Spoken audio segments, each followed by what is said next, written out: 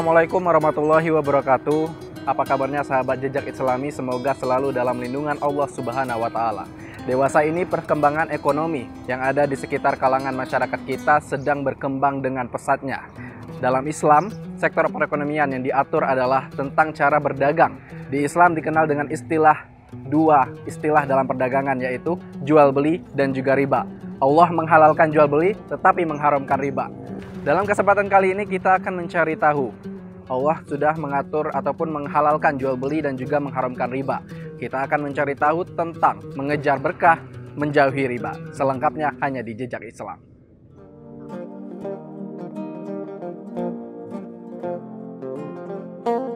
Rasulullah Shallallahu Alaihi Wasallam bersabda, yang artinya akan datang suatu zaman di mana manusia tidak lagi peduli dari mana mereka mendapatkan harta apakah dari usaha yang halal atau yang haram. Hadis riwayat Bukhari dari Abu Hurairah. Nauzubillahi min zalik. Tentu Allah tidak akan meridhoi hal ini, bahkan Allah murkai.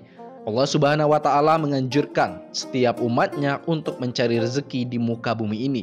Sebaik-baiknya rezeki adalah yang dicari dengan cara yang halal. Kisah salah seorang sahabat kali ini semoga dapat menggugah kita semua untuk lebih mendekatkan diri kepada Allah dengan jalan harta yang halal dan barokah.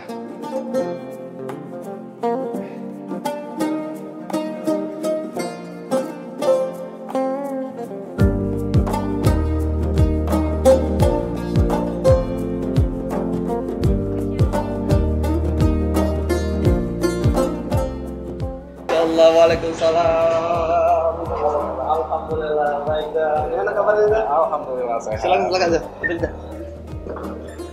aja. Ambil dah. Nah, maaf bang nih agak telat ya datangnya. Masya iya, udah ditunggu dari Oh.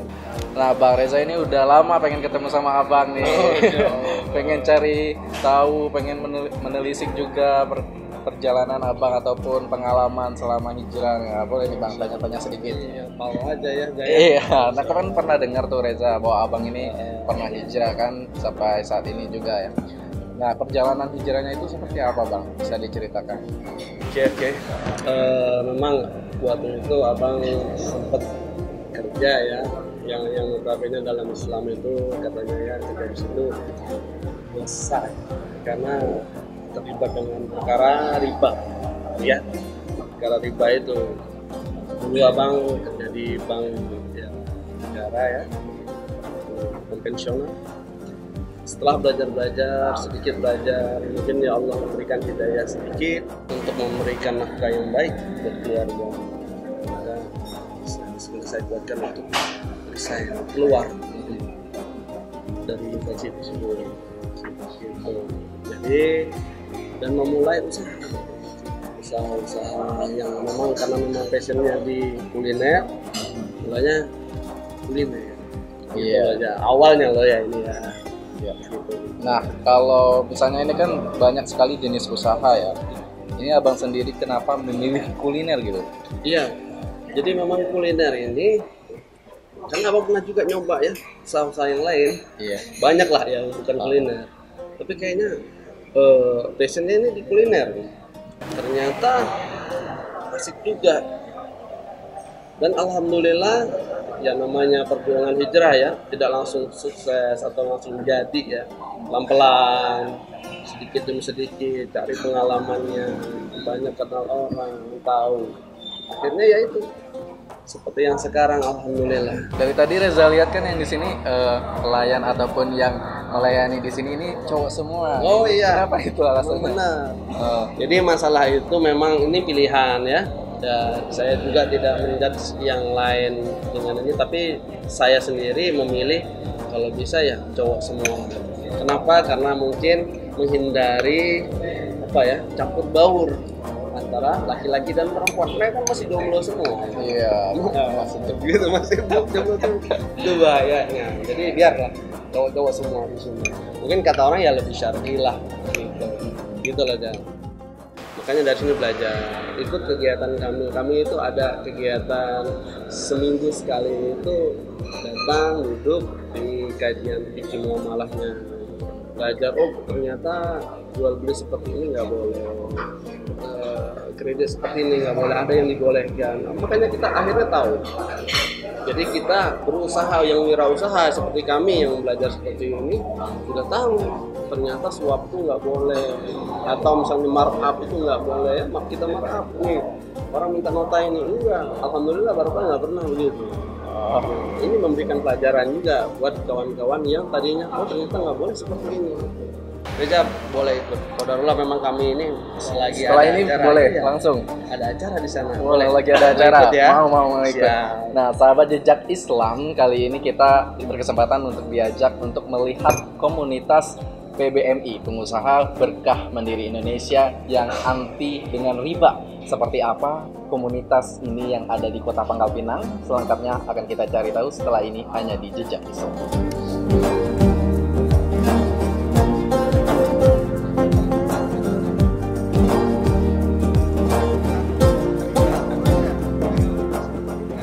Usaha Bang Oscar untuk menghindari riba terus didukung oleh pihak keluarga, menjadikannya saat ini sukses membuka usaha bubur di kawasan Jalan Balai Pangkal Pinang. Sejak mengetahui sejumlah ancaman riba, tentu membuat Bang Oscar enggan terjerumus dalam riba. Rasulullah Shallallahu Alaihi Wasallam bersabda, satu dirham yang dimakan oleh seorang dari transaksi riba, sedangkan dia mengetahui lebih besar dosanya daripada melakukan zina sebanyak 36 kali 9. Hadis riwayat Ahmad.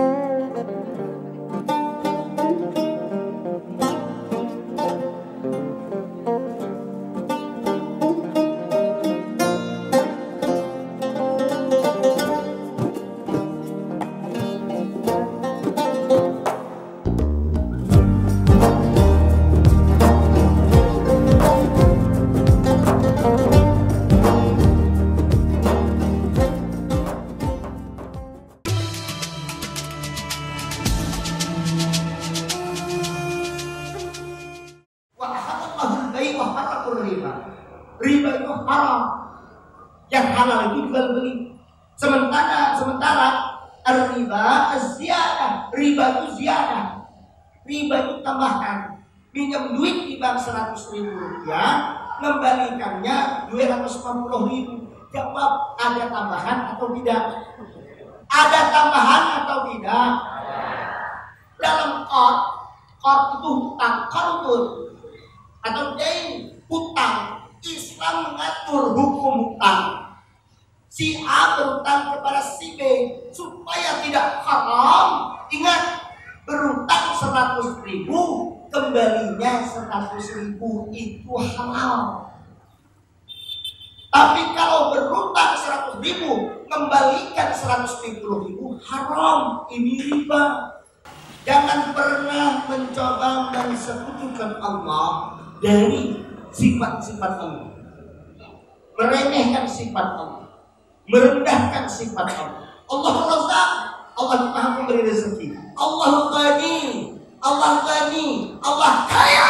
Yang miskin itu kita. Kalau Allah berkehendak, innama amruhu idza arada syai'an ayyakula lahu kun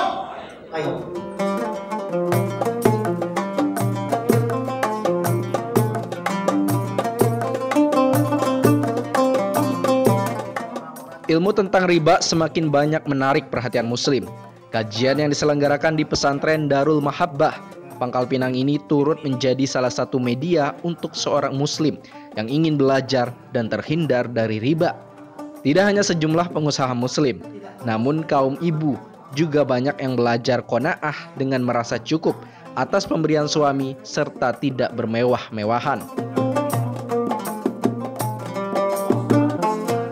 Dari Abu Hurairah, Nabi Muhammad Shallallahu Alaihi Wasallam bersabda, kaya bukanlah diukur dengan banyaknya kemewahan dunia, namun kaya atau ghina adalah hati yang selalu merasa cukup. Hadis riwayat Bukhari dan Muslim.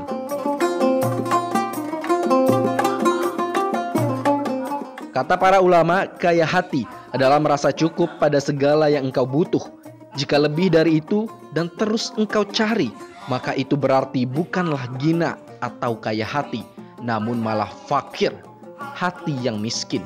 Jika seorang muslim memperhatikan orang di bawahnya dalam hal dunia, itu pun akan membuat ia semakin bersyukur atas rezeki Allah dan akan selalu merasa cukup.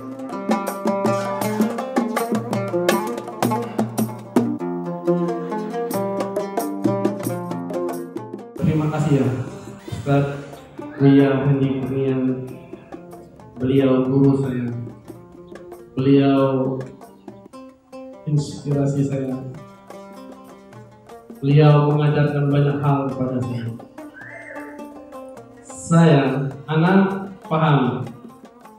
Anak-anak kenal dengan beliau sudah lama.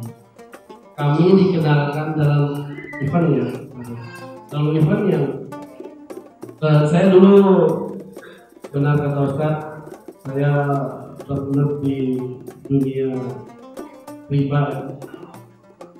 Mohon maaf bagi kawan-kawan yang masih di sana.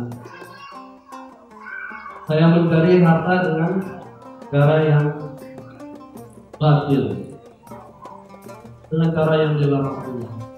Awalnya memang kita nggak tahu, nggak tahu.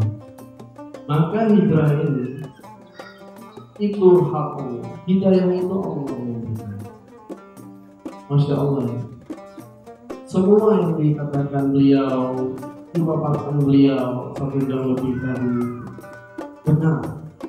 Wallahi benar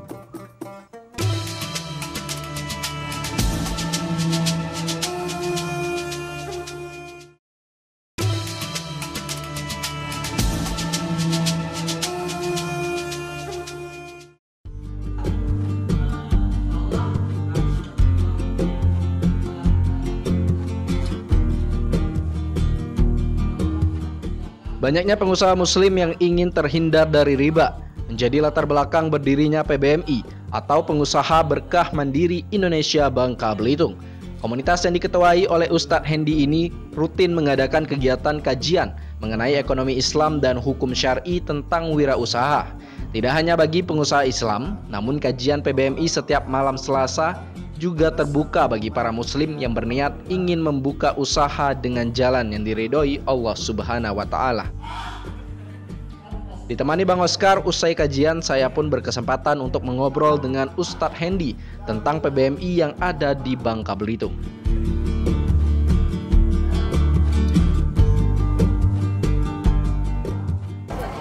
sahabat jejak Islam tadi Reza berkesempatan untuk mendengar langsung tausiah dari salah satu ustadz yang ada di Kepulauan Bangka Belitung ini yaitu Ustadz Hendi Kurnia dan sekarang kita berkesempatan untuk berbincang langsung dengan Ustadz Hendi Kurnia.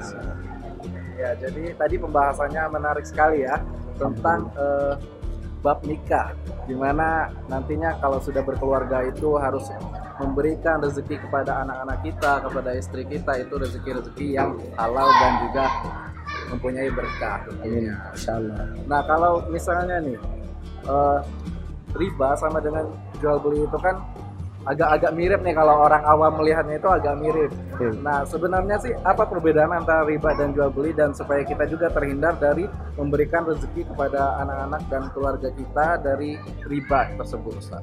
Oke, baik. Jual beli ini adalah sesuatu yang dihalalkan oleh Allah Subhanahu wa taala. Allah berfirman, "Wa ahalallahu al-bai' wa harrama riba." Allah menghalalkan jual beli dan mengharamkan riba.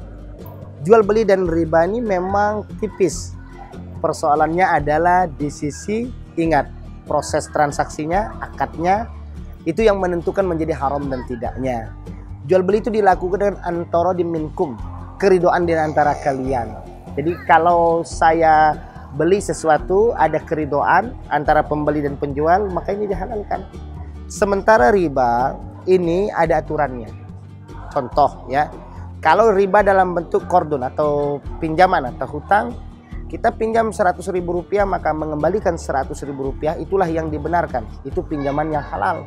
Tapi pinjaman yang di dalamnya ada ziyadah, ada kelebihan yang disebut dengan ribawi. Kemudian eh, komoditi ribawi itu ada 6 ada emas, ada perak, ada kurma, ada gandum, sair, gandum bur, juga ada garam. Nah, untuk pemberlakuan uh, komoditi ribawi ini dia ada aturannya, ada syaratnya. Jual beli emas tidak boleh asal-asalan. Emas dan perak ada aturannya. Dia harus cash, tidak boleh kredit. Kalau kredit menjadi haram, kalau hutang menjadi haram.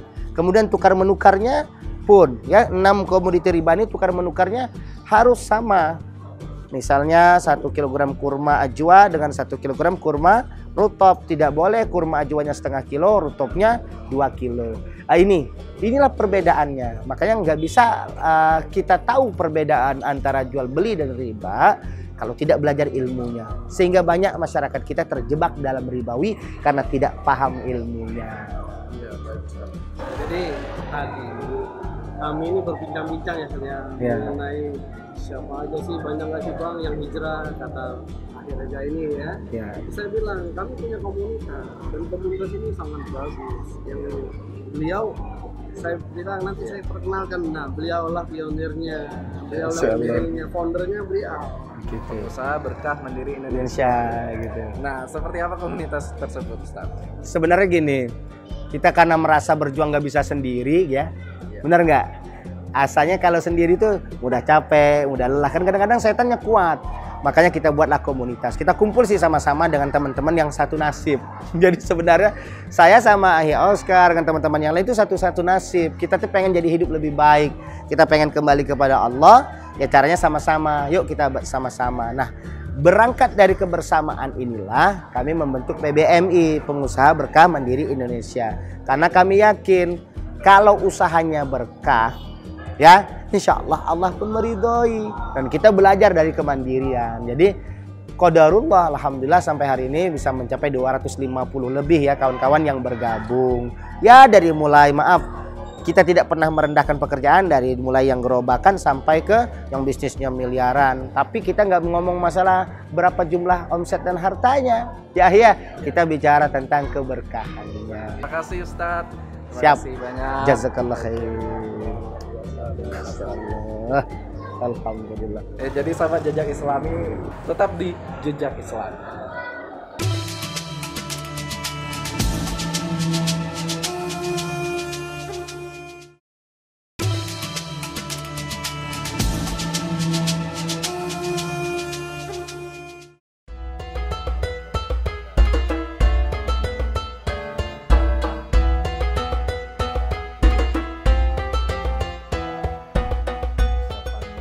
Tidak hanya Bang Oscar yang mempunyai usaha warung makan bubur ayam barokah, namun salah seorang rekan lainnya, yaitu Bang Arif juga sudah sukses menjalani usaha tanpa riba sekaligus berdakwah. Kami pun menuju tempat usaha Bang Arif yang berada di kawasan Desa Kace. Assalamualaikum Assalamualaikum. Waalaikumsalam warahmatullahi Masya Allah. Apa kabar? Alhamdulillah khair Ini teman saya nih. Iya, Reza Bang. Arif. Bang Arif ya. Nah, jadi gini Heeh. inilah yang saya ceritakan tadi Iya. beliau ini hijrah sama dulunya profesi seperti saya dan hijrah membuka usaha iya membuka usaha beliau ini usahanya akikah Akikah ya, Bang. berbeda dengan kita yang tadi ya Iya, berbeda. Nah beliau yang bergerak di akikahnya Oh. Nah, kalau Reza pengen tahu lebih dalam nih tentang usaha yang digeluti abangnya yaitu Akika, bisa ya Bang nanti Reza tanya-tanya? boleh Iya. sambil kita lihat-lihat apa apa Iya, boleh langsung kita lihat-lihat. ayo ayo ayo Siap. Ayo.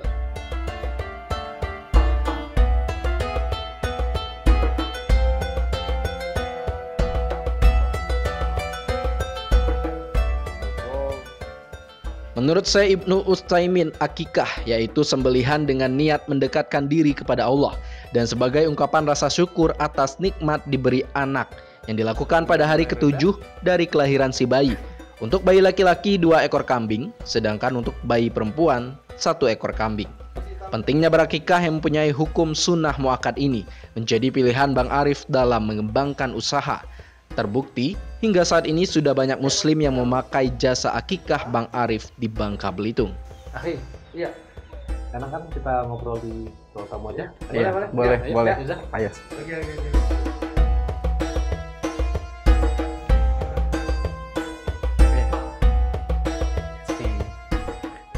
Ah, Cerita-cerita ini enak ya. Ini ya. Benar, benar, benar, benar. Ah, ah. Ya, tadi kan Bang Oscar udah cerita nih bahwa Bang Arif ini satu kerjaan sama Bang Oscar dulunya itu sebelum Ya, satu hijrah. profesi. Satu profesi sebelum hijrah. Nah, kalau Bang Arif nih pengalaman hijrahnya seperti apa? Ya pada dasarnya dulu banyak pertentangan, banyak pertentangan di dalam pekerjaan. Karena memang profesi yang kita geluti ini terkait atau berhubungan dengan riba, kemudian denda. Ya, jadi hal itu yang membuat abang ini pengen hijrah, pengen mencari rezeki yang lebih halal.